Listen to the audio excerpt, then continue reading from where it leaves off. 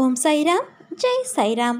என் அன்பின் சாய் குடும்ப உறவுகளே உன்னை தேடி வந்த வாய்ப்புகள் எல்லாம் உனக்கு நான் உன் சாய் தேவா கொடுத்த வாய்ப்புகள்.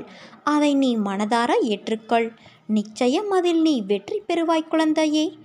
பல பேர் அவரவர் பிரச்சனைகளுக்கு விடிவு தேடி ஒரு நிரந்தர தீர்வு தேடி என்னை காண்பதற்கு காத்திருக்கும் நேரத்தில் நான் உனக்கு அனுமதியளித்தேன் ஏன் தெரியுமா? பல மைல்களுக்கு அப்பாலிருந்து உன்னை நான் அழைத்து வந்திருக்கின்றேன்.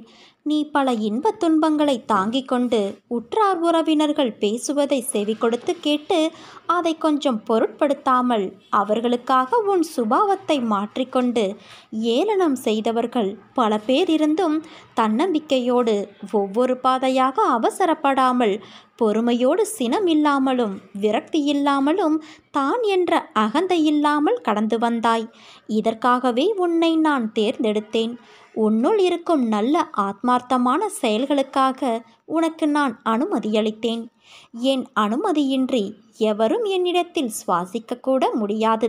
அதனால் உனக்காக நான் என் துவாரகா வாயிற்படியில் காத்து கொண்டு இருக்கிறேன் வா குழந்தையே உன் கரும பலன்கள் அனைத்தும் உன்னை விட்டு நெடுந்தூரம் சென்றுவிட்டது.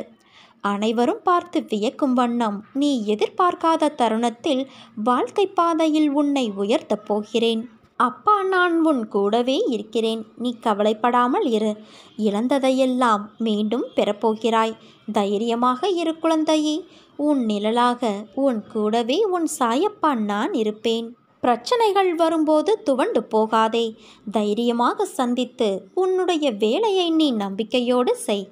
பிரச்சனைகளை பார்த்து நீ பயந்து ஓடினால் அது உன்னை இன்னும் வேகமாக துரத்தும். அவர் அவருடைய பலவீனத்தை தெரிந்து கொண்டு ஏமாற்றுபவர்கள் இந்த உலகில் இருக்கத்தான் செய்கிறார்கள்.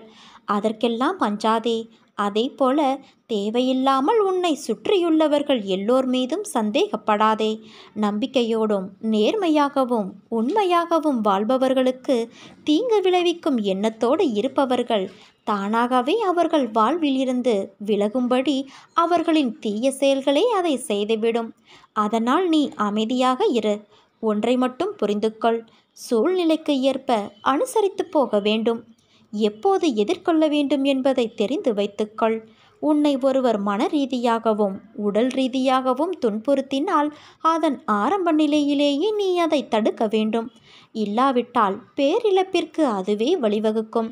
உன்னுடைய இந்த நிலை கூடிய விரைவில் மாறப்போகிறது குழந்தையே. நீ ஜெயமாக நல்ல ஆரோக்கியத்தோடு எல்லா செல்வ வளங்களையும் பெற்று மகிழ்ச்சியான வாழ்க்கையை வாழப்போகிறாய். உன் பொறுமையை சோதிக்கும் அளவுக்கு சோதனைகள் நெருக்கடிகள் வந்தாலும் அந்த கடினமான நேரங்களை நீ அமைதியோடு கடந்தாக வேண்டும். உனக்கு பக்கபலமாய் நான் இருக்கிறேன் என்பதை நீ மறவாதே. நீ நம்பிக்கையோடு இருந்தால் நல்லதே நடக்கும். சாயிருக்க பயமேன்.